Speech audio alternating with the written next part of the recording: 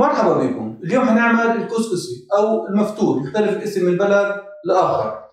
low carb هو مناسب لأنواع ال diet بالأخص ال keto diet ولمرضى السكر. يلا على اللوز الكمية اللي انتو بدكم إياها. نضيف ماء ساخن نتركه تقريبا من خمسة لعشر دقائق. لما الحبة مثل هيك تطلع. من خمسة لعشر دقائق. مثل ما أنتم شايفين. هيك صفينا الماء وبنعملهم كلهم. موضوع سهل. بنشفهم من الماء وبنتركهم في المطبخ تقريبا أربعة وعشرين ساعة لتاني يوم. ينشفوا براحتهم. وإذا أنتم مستعجلين حطوهم في الفرن في الرف الأوسط تقريبا سبعين درجة مئوية على البطيء. مثل ما أنتم شايفين هيك أنا تركتهم أربعة وعشرين ساعة. نطحنهم. طبعا على مراحل. خمس ثواني وبنوقف. خمس ثواني وبنوقف. لأنه مثل ما مثل ما أنتم لما تدعكوا ايديكم ببعض كيف بصير في حرارة وكتر الطحن بطلع الزيت اللي في اللوز وإحنا مش عاوزين نطلع الزيت اللي في اللوز هيك بصير حرارة كتير مثل ما تدعكوا ايديكم كيف بصير حرارة؟ ونفس الشيء الماكينة. إذا بنشغل باستمرار بصير حرارة وبطلع الزيت وإحنا مش عاوزين الزيت يطلع. ممكن عمل العديد من الوصفات من دقيق اللوز مثل الخبز المكرون الفرنسي أشياء كتير ممكن إحنا نعمل منه بسكويت. يجب أن تكون فتحة الغربال كبيرة إلى حد ما يعني تكون.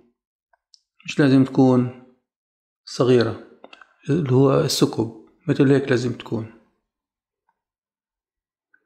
هيك أصبح جاهز. شايفين كيف؟ كتير بسيط كتير هو روعة. إحنا ممكن نعمل كمية, كبيرة. نوضع في وعاء ماء ونتركه يغلي. تقريبا نصف الوعاء ماء. بنوضع غربال فتحة صغيرة تكون. لازم الغربال تكون فتحة صغيرة من شأن ما ينزل الدقيق منه. نوضع الكمية المناسبة وبنغطي لمدة خمس دقائق. هيك بعد خمس دقائق أصبح جاهز. شايفين كيف؟ هو كتير روعة.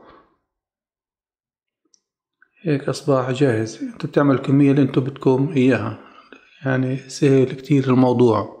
ممكن نوضع زبدة ممكن نوضع شطة ممكن نوضع ملح. هذا حسب انتو ذوقكم حسب انتو كيف متعودين على الطعم. هيك أصبحت جاهزة.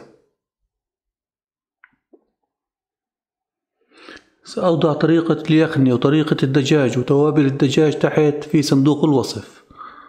أوضع كل الوصفات تحت في صندوق الوصف إذا أنتم بدكم تعملوا شيش طاووق أو دجاج أو توابل الدجاج حوضع كله تحت في صندوق الوصف. هيك بنوضع اليخنة واليخنة بتعملوها أنتو على ذوقكم مثل ما أنتم متعودين. ملاحظة يجب عليكم دائما التأكد من هذه الوصفة وجميع الوصفات بتناسب نظامكم الغذائي أو الوضع الصحي. لا يوجد مكونات بتناسب جميع الأشخاص. لازم دائما إحنا نتحرى من المكونات هل بتناسبنا أم لا. مثل ما أنتم شايفين وصفة كتير بسيطة وكتير سهلة. أتمنى تكتبوا لي رأيكم تحت بالتعليقات لأنه رأيكم كتير بيهمني. الناس الموجودة عندي على الصفحة على الفيسبوك أتمنى يشتركوا بقناة اليوتيوب اسم القناة شيف نائب. من شأن يوصلكم كل جديد في أمان الله.